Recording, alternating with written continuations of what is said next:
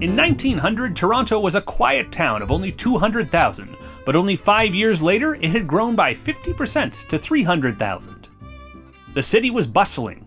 The main form of entertainment was live theater, but most of the theaters were makeshift relics from the last century when Toronto was still a backwater. The city needed a new theater that reflected its new status. In 1906, Cawthra Mulock, known as the Boy Millionaire, set about correcting this. He hired architect John Lyle and instructed him Build me the finest theater on the continent. The Royal Alexandra Theatre, the first North American theatre to be issued a royal patent by Buckingham Palace, officially opened on August 26, 1907. Immediately, the Royal Alex became the place to be. Its roster of stars is an honor roll of 20th century theatre. Mary Pickford, Helen Hayes, Al Jolson, Orson Welles, Humphrey Bogart, John and Ethel Barrymore, Fred and Adele Astaire, Katharine Cornell, Deborah Kerr, John Gielgud, Ralph Richardson, Edith Piaf sang here, Paul Robeson played Othello here, Pavlova danced here, the Marx Brothers made Alex audiences laugh, and Mae West made them blush. By the late 1950s, it was the city's only surviving legitimate theater that had not been converted into a cinema. But its fortunes began to wane. First film and then television offered other forms of entertainment the Royal Alex had to find new energy and perhaps a new owner to flourish again. That owner was Ed Mirvish, who, with the enthusiastic support of his wife Anne, bought the theater in 1963, saved it from demolition, spent lavishly to restore it, and built an exciting neighborhood around it. Today, the Royal Alex is as vital as ever and still considered the finest theater on the continent. Let's now discover the building itself. The exterior of the building is brick and sandstone. Beneath its exterior walls are two feet of concrete, reinforced by a steel structure, the first theater in North America to be constructed this way. Stepping into the front foyer, it's easy to see the splendor of the materials used. The foyer is clad in a green marble imported from Italy. The floor is a mosaic created by craftsmen in Venice. Step through the second set of doors, and you're in a sea of rich walnut wood imported from Turkey. The grand staircases were hand carved of cherry wood from Austria and Hungary. Above the doors leading into the auditorium is the crest of the British royal family, as the Alex has a royal patent and is named after Alexandra, the consort of Edward VII, later Queen Alexandra, and the great grandmother of Queen Elizabeth II. Off the front lobby are rooms where the audience can rest and perhaps enjoy a beverage before the performance and at intermission. The manager's office is also here, a wood paneled room where the theater's early news clippings are kept.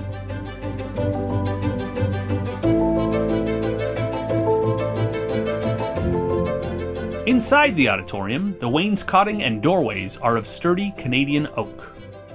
The walls are covered in cream and gold silk.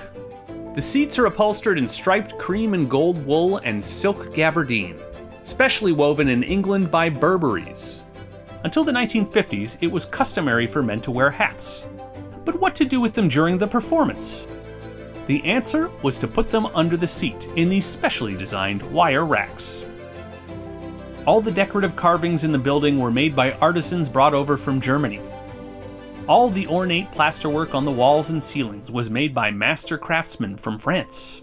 At the top of the proscenium arch, which frames the stage, is the sounding board. Its purpose is to bounce the sound of the actors' voices from the stage into the auditorium. At the Royal Alex, the sounding board features a mural by Frederick Challener, the finest muralist of his time. It shows a classical scene Venus and attendants discovering the sleeping Adonis with Cupid close by. Now let's go to the dress circle, which is the second level of seating in the auditorium. Thanks to the structure's steel frame, the Royal Alex was the first theater to have cantilevered balconies, meaning the weight of the balconies is held up by the steel and concrete structure, not pillars, which would obstruct the view of audience members seated behind them. When Lady Diana, the Princess of Wales, came to see Les Miserables at the Royal Alex in 1990, this is where she sat. Dress circle, first row, center seat. Off the dress circle is the CAA Lounge. Overlooking King Street, this gracious room is beautifully appointed and a favorite with patrons. The balcony is the third level of seating. It offers great views, but is much higher up. In the 19th century, the balcony would have been called the Gods, for obvious reasons. On the sides of the stage are a few more seats. These are called the boxes. Traditionally, this is where public figures sat so that they could be seen by everyone else in the auditorium. Now let's walk back downstairs to the orchestra level. But first, as we descend the staircase, note all the framed photos on the walls. These are only some of the noteworthy stars from the Royal Alex's first four decades. Before we go on stage and backstage, let's go to the newest part of the building, the Yale Simpson Lounge.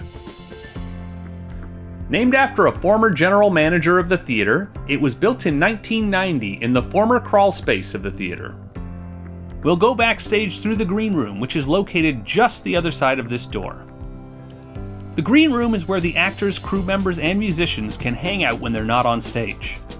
There are many theories about why it's called the green room, but you should know that no green room in any theater is actually green.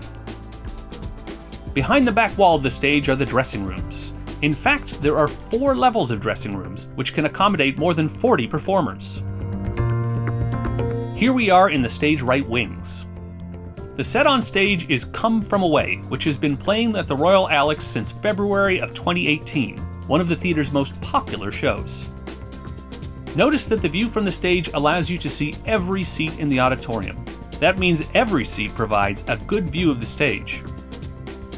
Now we are in the old stage door room, which is located on the east side of the building. Until the late 1980s, this was the entrance to the stage for everyone who worked here.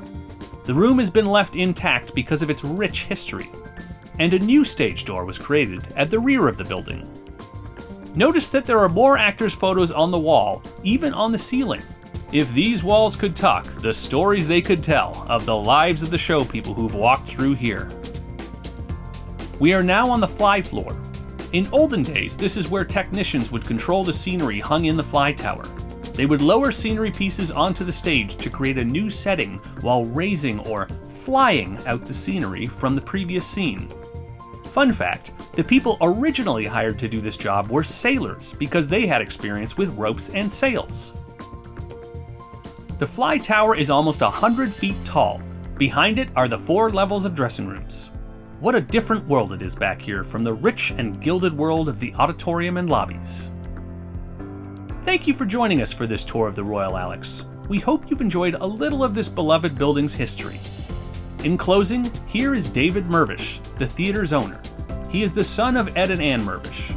Like his parents, he loves this building and is committed to continuing its long tradition of offering the best in theater to audiences in Toronto and beyond. The theatre isn't just another business, it's a lifelong passion. The Royal Alexandra Theatre is the place where my wife and I had our first date. I'm very honored to partner with CAA in making theater more accessible to its members. CAA's dedication to its community and its support of the arts is superb. Thank you for that support. As a member since 1966, they give me the confidence to keep running my car. I look forward to seeing you at the theater when the time is right. Please stay tuned for a big announcement delivering CAA members even more excitement and benefits when they attend our four incredible theaters.